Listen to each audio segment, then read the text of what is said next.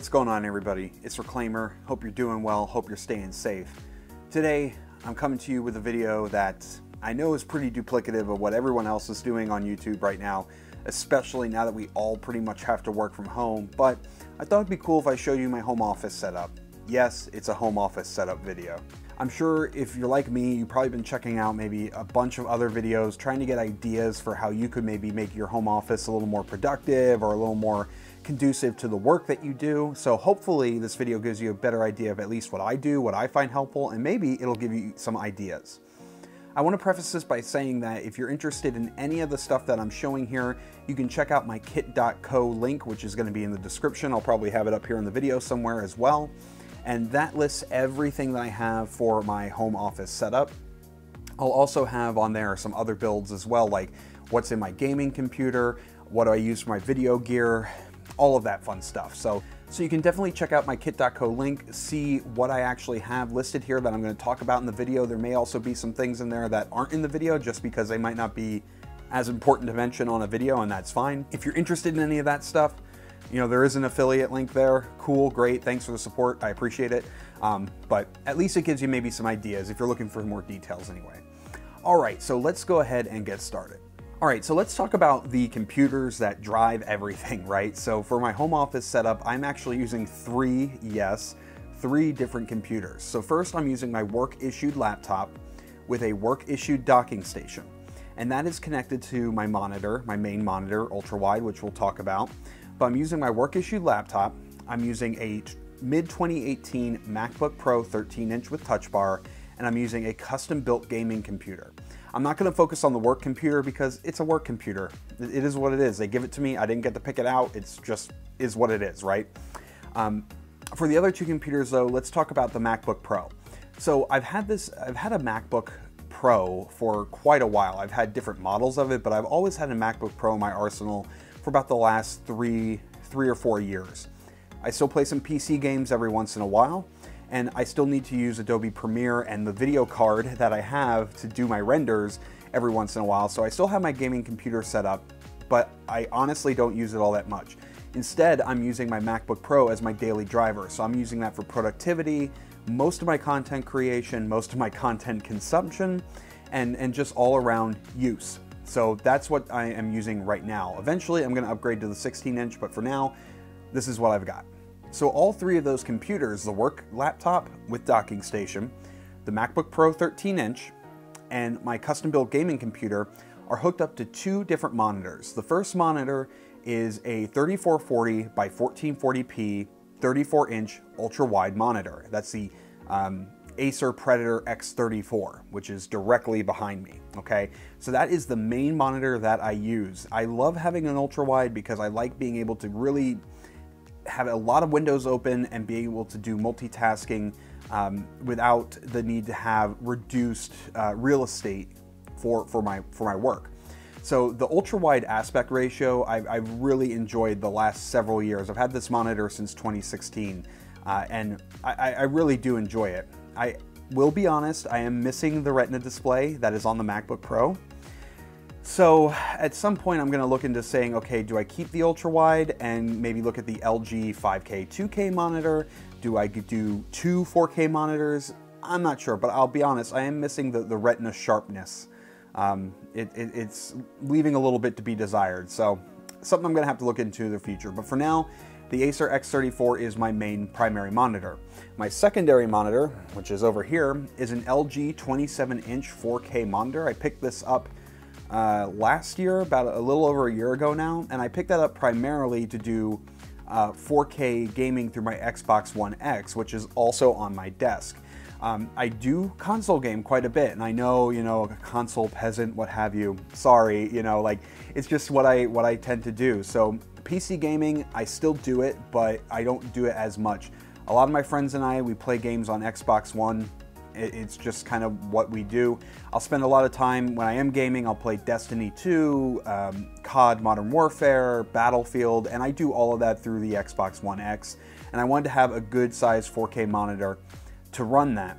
So in addition to using the 4K monitor for my Xbox One X, I also have my MacBook Pro plugged into it and my gaming computer plugged into it. So I'm using three inputs on the um, on the 4K display. So right now you may be able to see behind me that uh, it's running the screensaver on my MacBook Pro right on both monitors. So you can see I have both of them switched over to the MacBook Pro for now. So we talked about the computers, we talked about the displays. Let's talk about some of the peripherals and some of the other accoutrements, right?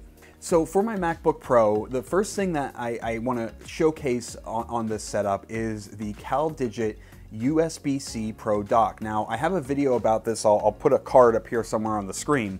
I have a video that I recently posted about this. I purchased this dock not that long ago and I love the thing.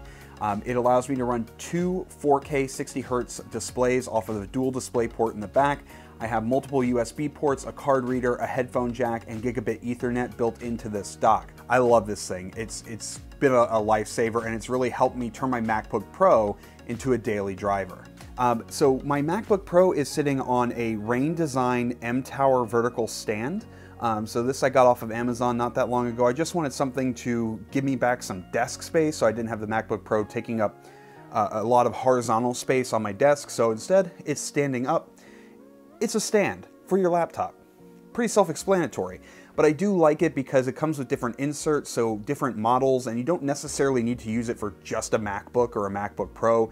You can use these with other laptop devices. It's just marketed as a, a stand for a MacBook or a MacBook Pro, so there you go there.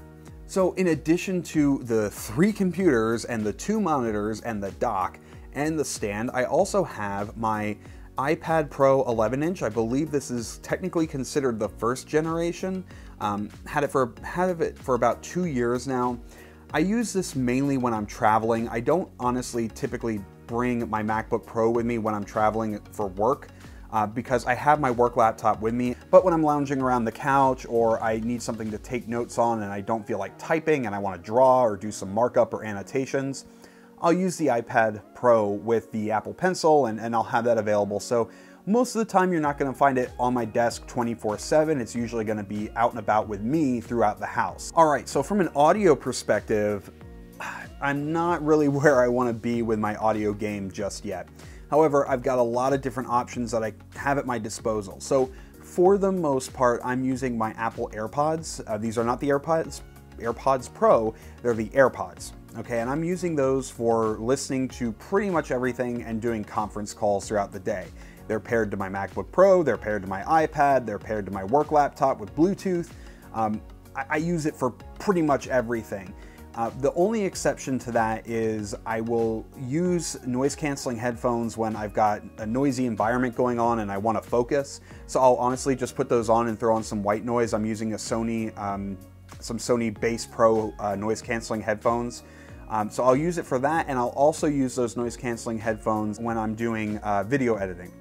So I, I, have that at my disposal as well. Eventually I'd like to get a good studio pair of over-the-ear headphones, but for now I'm using the, the, AirPods for, for practically everything. So you're always gonna pretty much find those on my desk and they're usually gonna be next to my Mophie wireless um, charging puck, which is on my desk. I have it all set up there.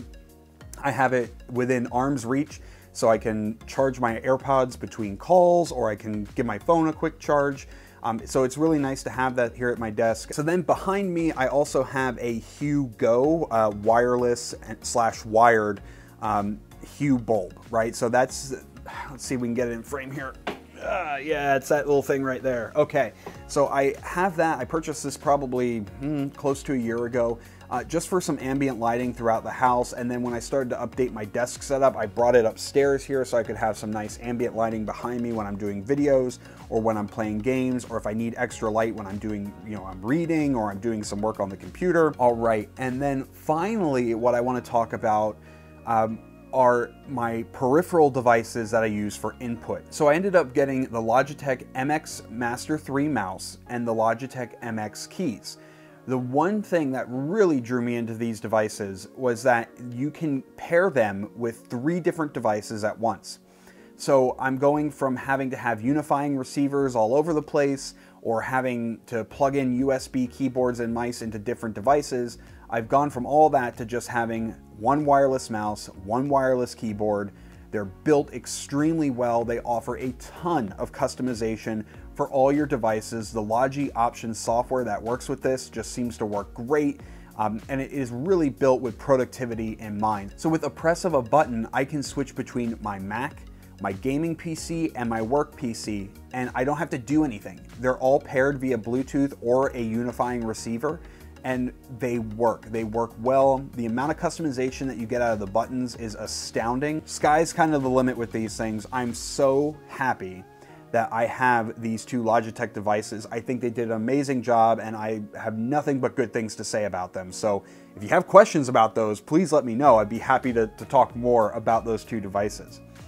And for the most part, that's it. You're gonna find that, you know, yeah, I've got different monitor stands, so, you know, I can articulate the monitors and move them all around, do whatever I wanna do there. And you'll find a random assortment of different cables around my desk. I have all my cable management done underneath the desk. I've got USB hubs, I've got an extra um, power supply under there, and that's my productivity setup.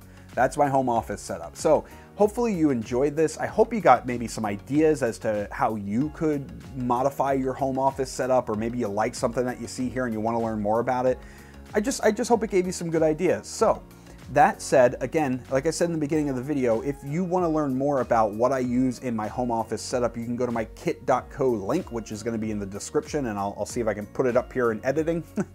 and you can see everything that I have in my, my home office setup. So if you're interested in learning more about that, you can certainly, you know, click on those links. Uh, and, and if you're interested in purchasing, I do get some support through that through Amazon affiliate. So I thank you for that.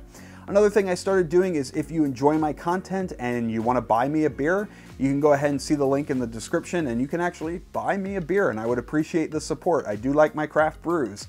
And then finally, as always, if you have questions, comments, concerns, you want to learn more about anything in particular that I talked about, or you want to tell me about other content you'd like to see, leave a comment. You can like the video if you enjoyed it, subscribe so you know when I have other videos to post. I appreciate all that support.